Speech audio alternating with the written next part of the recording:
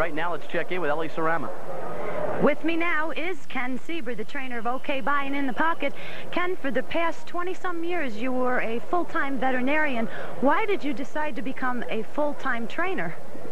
Oh, a couple of reasons, Ellie. It was geographics. I moved from New Jersey to upstate New York, and uh, having been on the one side of uh, the harness horse business as far as being a veterinarian, it was always uh, intriguing to me as far as training horses, and uh, I think as I've told you a couple times before, uh, I think most veterinarians that really get involved with harness horses are frustrated trainers, and I think a lot of trainers are frustrated veterinarians. How about OK Buy? How's he feeling tonight? OK Buy feels pretty good, I think. Uh, he was playful in his stall before he came to the paddock. Uh, he warmed up good, and uh, I think he feels pretty good. Do you think the track will be a problem? It is kind of hard right now and a little bit off. Uh, do you think that'll be a problem? No, I think the kind of horse he is, Ali, if he does what uh, I think he can do, I don't think the racetrack will bother him a bit. Okay, Ken, thanks for joining us. Good luck to you tonight. Now back to you, Bruce.